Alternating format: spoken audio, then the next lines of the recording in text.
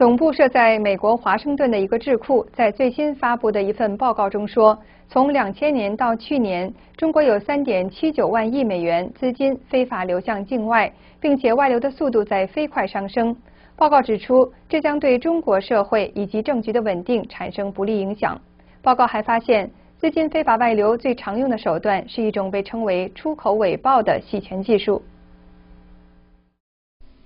这家设在华盛顿的全球金融诚信组织 GFI 专门关注全球跨境的非法资金流向。经组织研究发现，中国非法资金外流正以飞快的速度增长，从2000年的1726亿美金增长到去年2011年的6029亿。综合 GFI 曾经发表的与此有关的报告，中国已经成为世界上最受非法资金外流困扰的国家。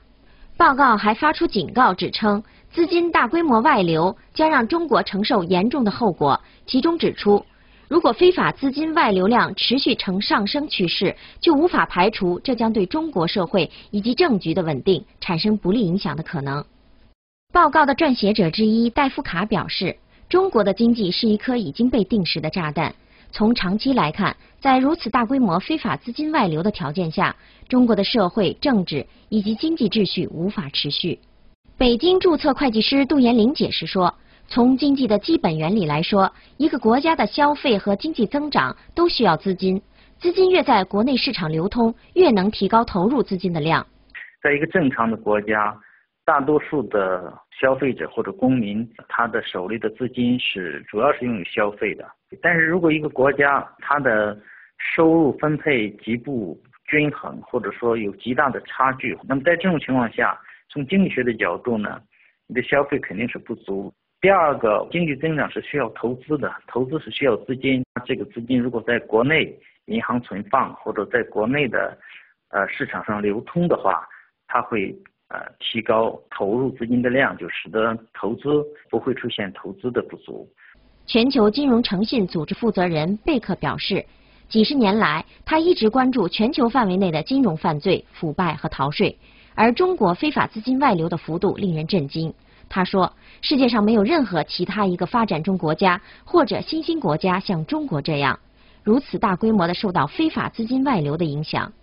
杜延龄认为，资金外流主要有三个管道：贪官、企业家和投资移民。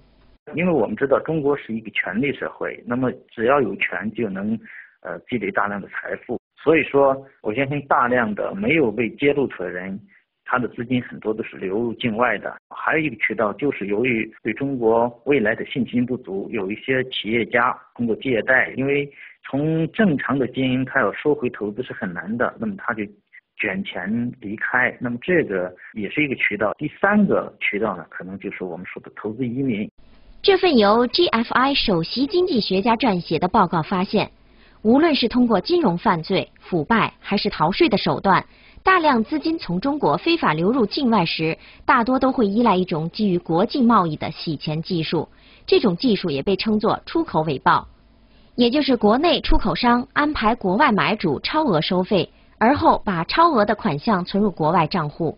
报告显示，过去的十一年中，中国非法流入境外资金的百分之八十六点二，也就是三点二万亿美金，都是通过这种办法流向海外的。